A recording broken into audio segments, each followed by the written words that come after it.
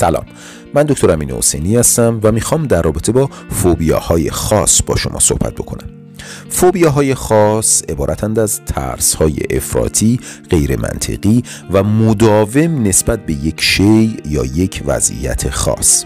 فوبیا ریشه یونانی داره و از فوبوس یکی از خدایان یونانی که دشمنان خود رو میترسوند مشتق شده. محرک های فوبیازا معمولا ترس بسیار شدیدی ایجاد می‌کنن و به همین دلیل افراد فوبیک برای اجتناب از اونا استراتژی هایی به کار می‌برن تا احتمال مواجه شدن با محرک های فوبیازا به حداقل برسه که بهشون رفتارهای ایمنی میگیم.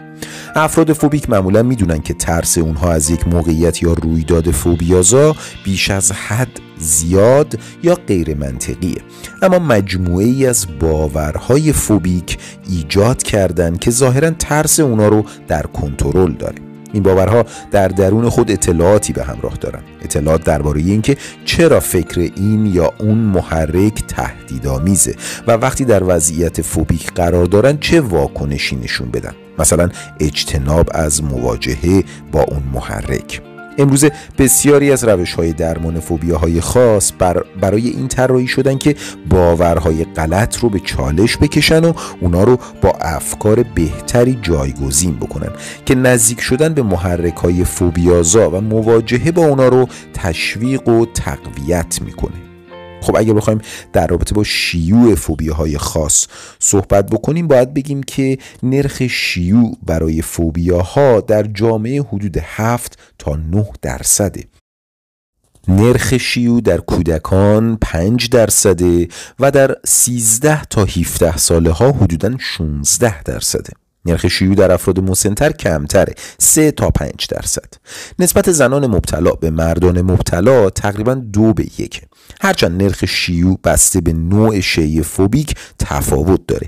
یعنی زنان بیشتر فوبیای حیوانات فوبیای محیط های اجتماعی طبیعی و موقعیتی رو دارن. در حالی که هر دو جنس به طور تقریبا مساوی فوبیای خون، زخم و آمپول رو تجربه می‌کنن خب اگه قرار باشه معیارهای تشخیصی رو برای فوبیاهای خاص بررسی بکنیم باید بگیم که این معیارهای تشخیصی به هفت بخش تقسیم میشن. اول ترس یا استراب شدید نسبت به یک شی یا یک موقعیت خاص. مثلا پرواز با هواپیما، ارتفاع، حیوانات، آمپول، مشاهده خون. دوم شی یا موقعیت فوبیک تقریبا همیشه باعث ترس یا استراب بلافاصله میشه. سوم فرد تمام تلاش خودش رو به کار می‌بره تا از شی یا موقعیت فوبیک اجتناب بکنه. یا این شی یا موقعیت فوبیک رو با ترس یا استراب بسیار زیاد تحمل می‌کنه. چهارم شدت ترس یا استراب با شدت خطری که از طرف اشیا یا موقعیت های خاص او رو تهدید می‌کنن تناسب نداره.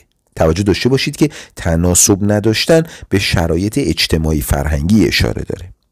پنجم ترس استراب یا اجتناب دائمی و تکراری و معمولا 6 ماه یا بیشتر باید طول بکشه. ششم ترس استراب یا اجتناب باعث میشه فرد برنج یا نابسامانی شدید در عملکرد اجتماعی شغلی یا سایر جنبه های مهم زندگی دچار بشه. فرد از این موضوع به شدت ناراحته و عملکرد او در کارها و وظایف اجتماعی شغلی و سایر زمینه های مهم مختل میشه. و هفتم این اختلال رو نباید با سمتوم های یک اختلال روانی دیگه توضیح بدیم. از جمله ترس استراب و اجتناب از موقعیت های مرتبط با سمتوم های پنیک یا سایر سمتوم های ناتوان کننده مثل موقعیت هایی در آگورافوبیا اشیا یا موقعیت های مرتبط با وسواس یا بقیه اختلالاتی که امکان داره نشانه های مشترک داشته باشه. خب شایع ترین فوبیاهای خاص رو اگر بخوایم ازشون نام ببریم باید بگیم اکثر فوبیاها معمولا روی گروه های نسبتا کوچیکی از اشیا و موقعیت ها متمرکز میشن. یعنی خاص فقط یک شی یا یک رویدادن.